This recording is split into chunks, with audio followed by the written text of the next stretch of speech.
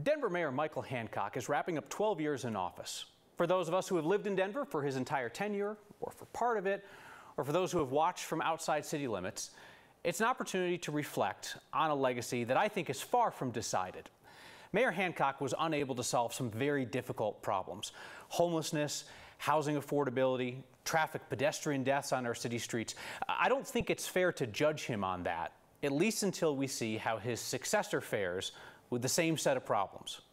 Now, the mayor's boosters, the city's power players, they love the Hancock years. Those were good, good years for them. And you'll see some of them in the taxpayer funded feature length film that the city made celebrating the greatness of Mayor Hancock. The city gave him the copyright to the film as well, just in case he might find it useful in future self promotion. Which brings me to one uncomfortable aspect of the Hancock era, which does not require more time to mull over his legacy of personal selfishness. Sexually harassing a female police officer assigned to protect him was, among other things, an act of selfishness. Telling Denverites to stay home for the holidays during the pandemic, then flying out of town to see his own family, that was another act of selfishness.